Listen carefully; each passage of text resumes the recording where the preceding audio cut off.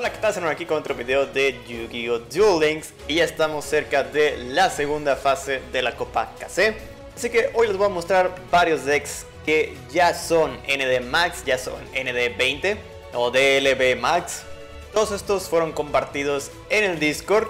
De una vez les doy gracias a todas las personas que han compartido su deck en el canal y si ustedes también quieren compartir sus decks, ya saben, en la descripción encontrarán el enlace de Discord para que presuman los decks con los que han llegado a ND Max.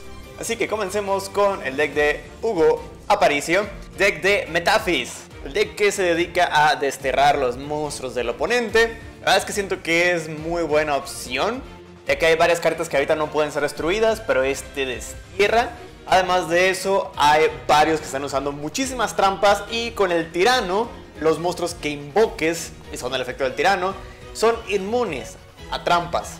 En caso de que tenga un monstruo tu oponente que no pueda sobrepasar, también la carta mágica continua les empieza a bajar un poco de ataque, también los pone en modo defensa por si no tienen nada de defensa, ejemplo Shiranuis, así los puede sobrepasar fácilmente y listo. Entonces tiene diferentes formas de jugarle a los diferentes decks. Muy buena opción para el que lo tenga y que aún no ha llegado a ND Max. Luego nos vamos a eh, Steven con el deck de Karakuri. El clásico deck de los Karakuris, tres de los mercader porque es el que quieres empezar sí o sí. Está un poco raro que no use reiniciar, pero bueno, usa aumento de nivel para poder sacar otros niveles de monstruos. Está bien, obviamente tiene algunas cuantas staples como ofrendas, no le interesa mucho robar porque ya el deck se acelera muy bien ya sea que saques a un monstruo con los mismos sincros o eh, que las mismas cartas de magia te puedan sacar unas cuantas cartas más. Entonces muy buena carta para meterle ahí, ofrendas a los condenados. Eh, también algo que se me olvidó decir es que seguramente vamos a ver repetición de algunos decks, como por ejemplo creo que Karakuri hay otro deck, por si quieren ver otras cartas que se le pueden meter al deck, por si quieren ver otras opciones del mismo deck. Y abajo vemos varios sincros diferentes, creo que lo único que se repite es el Blu-ray, el UR, Vale, vamos a el siguiente por parte de Rogue, que es Mago Oscuro.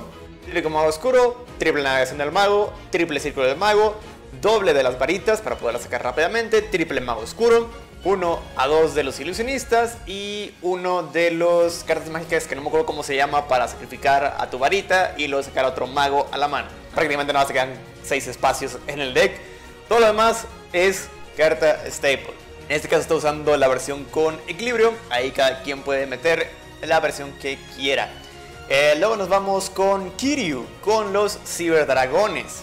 Los ciberdragones siempre usan el ciberestilo.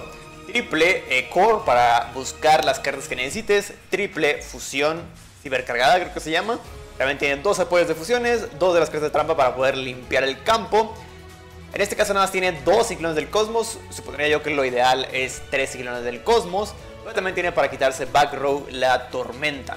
Muy buena carta ya que casi siempre las cartas que colocas las vas a activar, entonces puedes esperarte tu turno, activar la tormenta, activar las cartas de fusiones y listo, aunque igual con el monstruo, el Tech, no me acuerdo cómo se llama, el que necesitas dos monstruos, eh, puedes subir también back row, entonces eh, no es tan necesario, pero bueno, es una opción.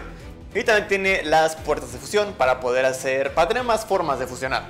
¿Vale? Otro muy buen deck, Ahora nos vamos por el deck del pingüino, su clásico deck de Blackwings. Uno de los decks más caros. Triple remolino, triple Saimun. Así aseguras sí o sí el remolino y así aseguras sacar todo tu deck prácticamente en un solo turno. Eh, alto rendimiento es la habilidad o la de las arpías de Mai para empezar con un campo. Y así ya poder eh, buscar también Necrovalic. Con el Hada también se usa el Pixie para poder usar los campos si lo quieres, para poder destruir una carta y listo. Igual en este deck va bien los ofrendas a los condenados para poder destruir monstruos al cabo que casi nunca necesitas robar ya que estás robando un montón. Vámonos al siguiente deck. Que es... Uy.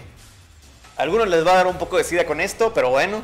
No podemos hacer muchos. Eh, se, ve un poco chiquito, pero bueno. Es el deck del Castillo Dorado. Déjame ver si lo puedo hacer más grande. Está, ya con eso ya se ve mejor. Deck del Castillo Dorado con Juego de las Sombras. Simplemente para darle sida a tu oponente y que se rinda. Con la princesa puedes atacar directamente usando las zapatillas. Así bajarle un poco de daño. También Lava Golem para quitarle un poco de daño igual, pero nada más es 500, así que por eso es que ya nada más se lleva a una sola copia. Y también eh, como el castillo tira cartas, las destierra de tu deck afuera. Eh, el Gren Mayu para que tenga un chingo de ataque y nada más es nivel 3. Así que muy buena opción. Y también, como nada más está usando puras cartas mágicas, le metió un Jinzo. Por si se enfrenta a otro Sida, sea como que no, yo soy el Sida mayor aquí, así que Jinzo. vale, eso es simplemente para los que tengan este deck, por si lo quieren usar. Y ese fue Liancor, gracias por el deck.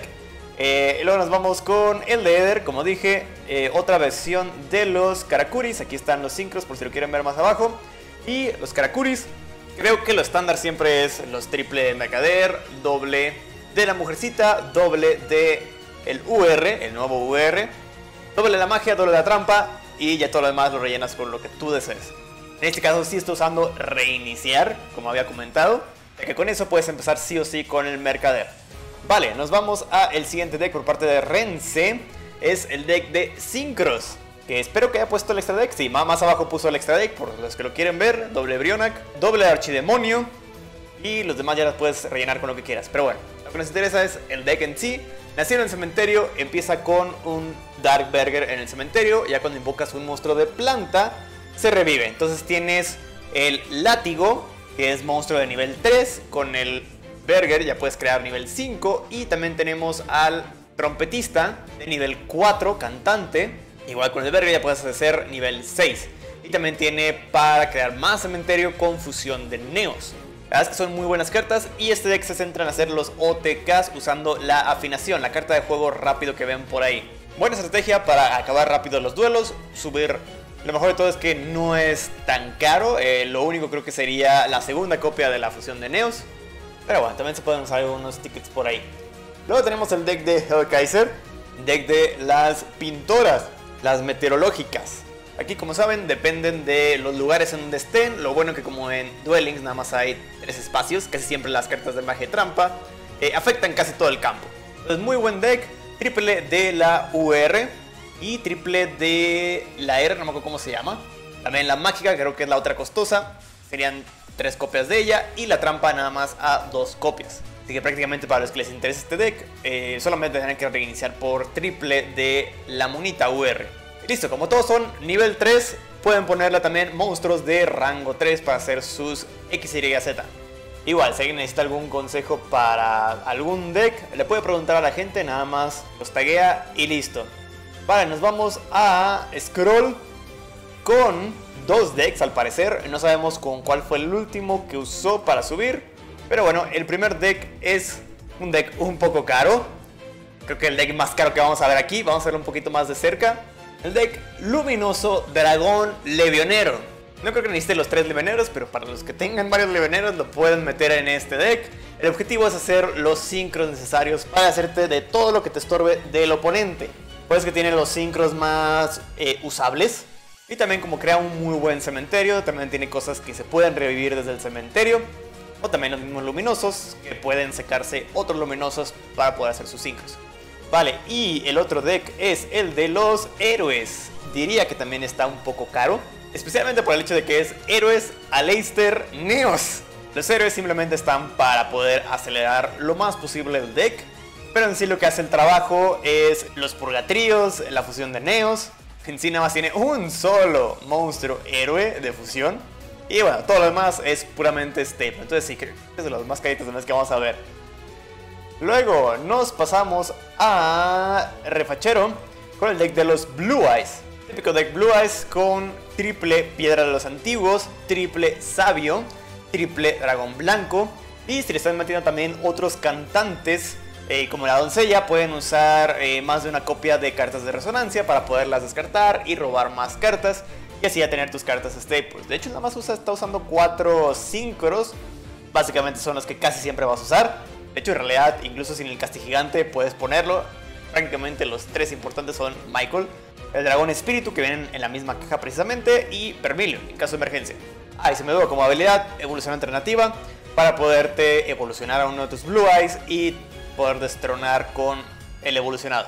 Vale, muy buen deck. Y luego nos vamos a el deck de Carlos André, el deck de los Cristones. Esta es la versión sin la ballena, pero tiene los Undyne, nada más tiene dos Undyne. Y también tiene los portarruedas psíquicos. Esto es para crear tus sincros más fácilmente. Aprovechar que tienes muchos monstruos de nivel 3. Y listo, lo que necesites en ese momento, destrozas o lo que sea. Vale, ahí también eh, varios compartieron el deck para poderlo copiar, si ustedes lo desean copiar. Ahora nos vamos al deck de Adrián Uchiha. Es el deck de las Tirámides, que va a ser un poquito más grande para que se vea mejor. Eh, con equilibrio para poder empezar sí o sí con mínimo un monstruo, mínimo una carta de campo y mínimo una carta de trampa. Ojo, no necesariamente van a empezar siempre sí con una y una y una, pero bueno, ya aumentan sus probabilidades. Los monos ya saben que pueden cambiar los campos, ya con eso se van a poder acelerar muchísimo su deck, especialmente si tienen el crucero, ya que el crucero puede buscar aparte otra carta. Cartas de trampa, eh, casi todo el mundo que usa Tirámides usa dos de los pulsos para poder hacer útil las cartas que tienes en el cementerio. Y bueno, en este caso ya están metiendo X, Y, Z. tenemos dos monstruos que son de nivel 3, así que pueden hacer rango 3 fácilmente. Pero igual de vez en cuando vas a tener a los dos amos y puedes crearte un nivel 4. Por eso es que tiene por ahí uno que dos nivel 4. Vale. Luego, vamos por eh, Abandon. Este deck se me hizo muy interesante, pero bueno, no es el primero, es en realidad el segundo es el deck de Red Eyes Buster Blader. Tiene muy buenas cartas. En caso de que se esté enfrentando a un oponente que use dragones, obviamente el Buster hace todo el trabajo, ya no puede hacer absolutamente nada. Pero igual la estrategia principal del deck es casi siempre el Slash. Pero tiene otras alternativas como el dragón que es cantante también. O sea, aparte de buscar las fusiones para el Buster, que puede servir para hacer sincros. Ahí tiene unos cuantos sincros por si los puede crear. Y aparte también tiene el dragón levionero para poder destruir unas cuantas cositas. Está interesante este deck, ¿eh? Y creo que por último tenemos un mago oscuro, sí, es el último.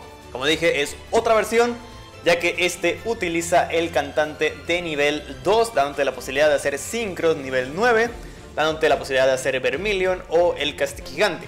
También le metió unos cuantos X, Y, Z de rango 3 para poder utilizar sus varitas del mago. Espero que Konami ya en las siguientes cajas, la siguiente caja de enero tal vez, metan rangos 7 buenos o decentes por lo menos para que estos magos oscuros puedan utilizarlos. Vale, y esos son todos los decks que han compartido en el Discord. Como dije, si ustedes quieren compartir los suyos, en la descripción encontrarán enlace del Discord para que los puedan presumir. Igual, esos simplemente son decks que han llegado a ND Max no significa que son los mejores que vamos a ver en la segunda fase. Si quieren ver de eso, les recuerdo que subí un video con la tier list con los mejores decks.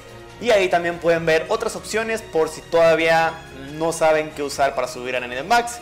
O si no tienen ninguno de estos decks. Links en la descripción. Ahora sí, me voy despidiendo. Muchísimas gracias por ver este video. Recuerden dejarle like si les gustó. No olviden suscribirse al canal si no lo han hecho. Y nos vemos en la próxima. Bye bye.